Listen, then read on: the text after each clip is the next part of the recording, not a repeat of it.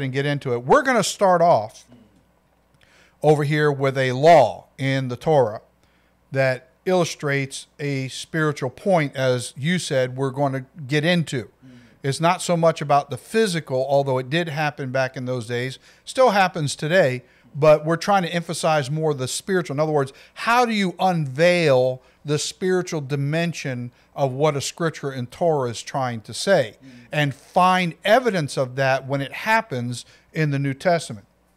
So, in Deuteronomy chapter 23, verse 1, I titled this Lack of Seed Disqualifies You. Lack of seed disqualifies you.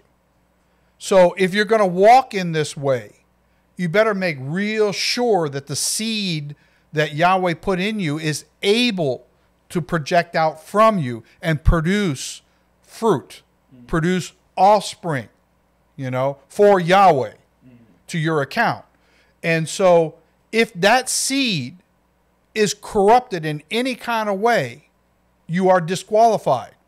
And that's the nature of this scripture. So let's go ahead and read this. It says, He who is crushed as to split or wounded in the stones, to be mutilated physically, or the testicles is what it's referring to, or be mutilated physically or mentally, his privy member of his penis that pours forth, or by cutting off, as to make a covenant by cutting the flesh, shall not enter the assembly of Yahweh. And we're going to see evidence of this spiritual concept in the New Testament, where individuals got themselves caught up in situations that did exactly what it's saying here. You're cut off from the assembly. You might still be professing Yahweh. You still might be professing Yahshua. You still might be professing any of the things that cliche statements that people like to make. That is not evidence that the seed of you that's inside of you, placed there by Messiah, is authentic. And we got plenty of scriptures where Yahshua says, And they will say to me in that day, uh, Master, Master, did we not cast out demons in your name? Did we not heal the sick in your name? And so forth. And he goes on to say, I never knew you, you who practice Torahlessness. So just saying you do this and that and the other is not the litmus test. The litmus test is how well grounded are you to the word where you're not mixing other covenants. Because this is what this text is talking about.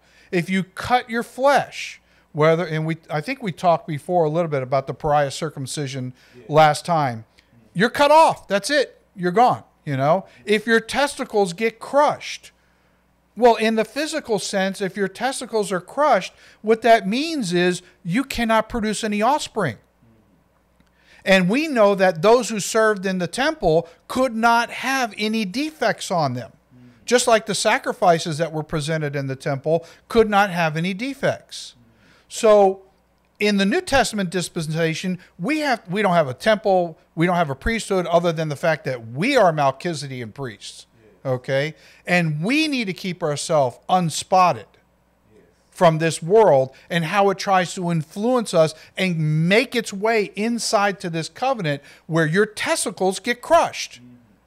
And now you do not have the spiritual authority to execute that which you would like to do, and you just can't do it.